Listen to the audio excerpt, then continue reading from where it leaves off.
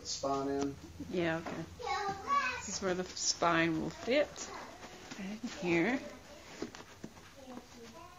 And be velcroed into place.